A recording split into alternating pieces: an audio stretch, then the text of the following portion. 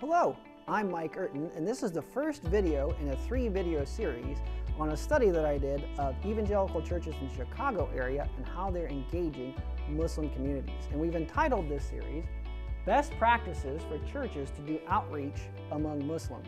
And in this first video, we're going to introduce the topic, we're going to take a look at some models for ministry, and then some examples of those models. So, why would Chicago be a good place to do a study of this kind? Well, Garbi Schmidt, in her book, Islam in Urban America, calls Chicago an American Medina, which is the second holiest city of Islam. And she says this The Medina in this book is Chicago, a city in the heartland of the United States, where Muslims from all parts of the globe have settled. To these immigrants, Chicago is an American Medina. In this city, they are creating a new home, combining habits of their homelands with an American way of life. In this city, they practice Islam and establish mosques, schools, and colleges. And in this city, they present Islam to their fellow citizens as a component of American life. And as we're going throughout this first session, I want you to keep this question in mind Can you see a day when Muslims are coming to Christ through the ministry of your local church, being built up into Christ likeness, and even taking on leadership responsibilities? And what I'd like to introduce is a few charts for describing the study uh, of these, these seven churches that I looked at in the Chicagoland area.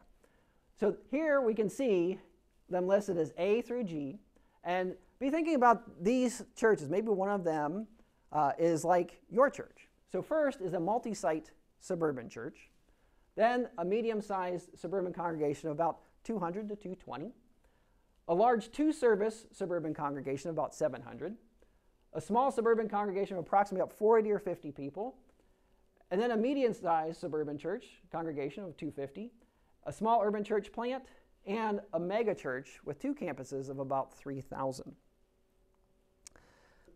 This chart is of the 21 people in the seven churches that I interviewed for this study. And this is the identifier column. That's not really the important thing I want you to focus on.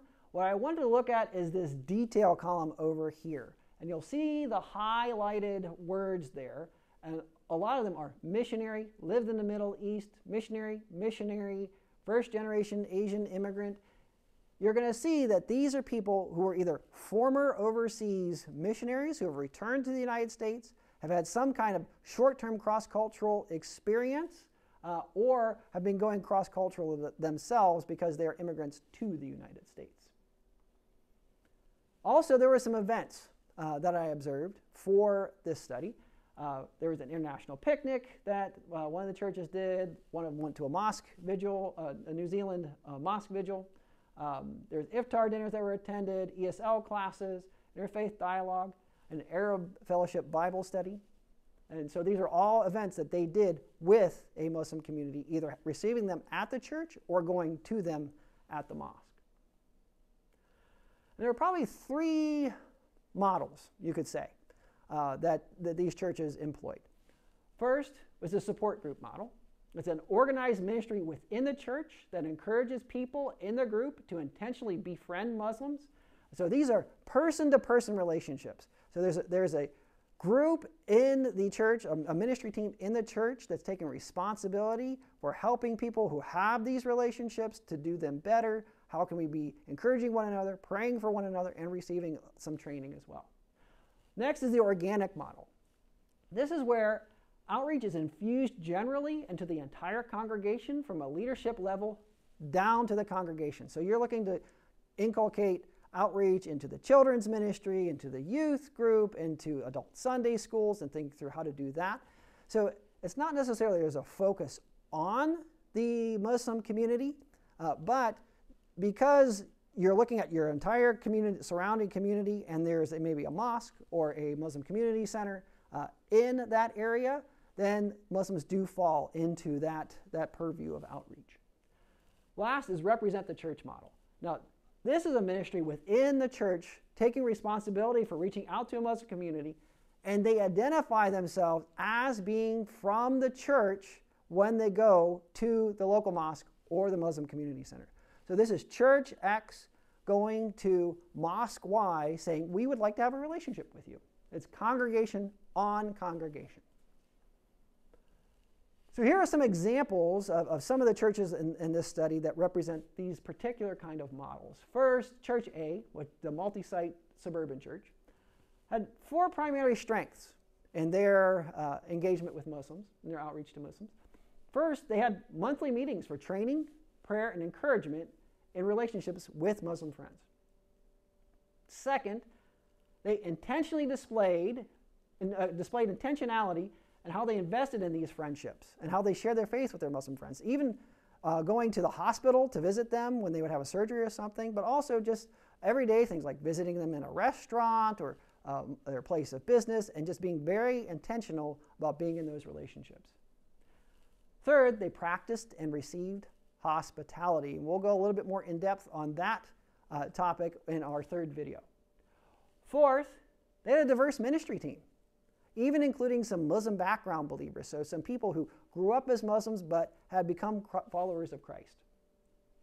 A particular challenge for this group was that uh, it was not well publicized. And since this is a multi site church, that you could have a lot of influence on these different campuses because they probably have some uh, mosque or Muslim community center in their area as well. But because this group is not known outside of just one campus, these other campuses probably aren't having that influence and engaging Muslims. Next, the organic model.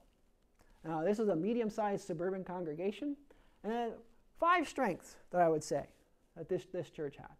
First, the leader created opportunities to interact with Muslims. They did things like feed my starving children, they had a Thanksgiving dinner for the mosque community. Second, he was also intentional about how to model building friendships with Muslims, especially with the local imam. Third, the congregation was committed to using prayer as part of their outreach strategy. So they would actually cancel Sunday school classes for the first Sunday of every month, and they would just focusing, focus on praying for outreach. Fourth, again, they practiced and received hospitality. Fifth, Publicity for ministry opportunities with Muslims was done very well. So it appeared in their newsletter, announcements from the front. When the slides are rolling at the beginning of the church service, they would have the announcement up there about it. People would receive emails. So they did a very good job making sure you knew this opportunity is coming up. Two primary challenges. First, the main volunteers did not receive any training. So there was training that was done, but the main volunteers who are, who are really involved in outreach of the church and really engaged with it um, did not get involved in the ministry until after the training happened. So they did not have any specific training themselves. Second was a lack of young volunteers. And so we know that that can be a problem if you're looking for longevity of the ministry. So the last model represent the church was a, a mega church with two campuses, and they had four strengths. First, Bible study was central in an Arab fellowship with Muslims and Christians. Second, they had an experienced, motivated team which was also diverse in ethnicity and age. And again, they had some Muslim background believers involved in the leadership uh, of this ministry. Third, they had organized and intentional training, so the training was ongoing and regular. Fourth, they practiced and received hospitality, which again, we'll dig into uh, a little bit later in the series. Some challenges, three challenges that this uh, church experienced. Um, there were tensions created by Muslim background believers attacking the Quran or Muslims arguing about Christian doctrine that, that they didn't agree with. And that sometimes threatened to derail uh, the Bible study. But the leaders did a good job keeping it on track. Second, there was a translator that sometimes would get upset during these arguments and would just either walk out of the room or, or uh, not cooperate when, when translating what was being taught. And third, one committed volunteer received no training.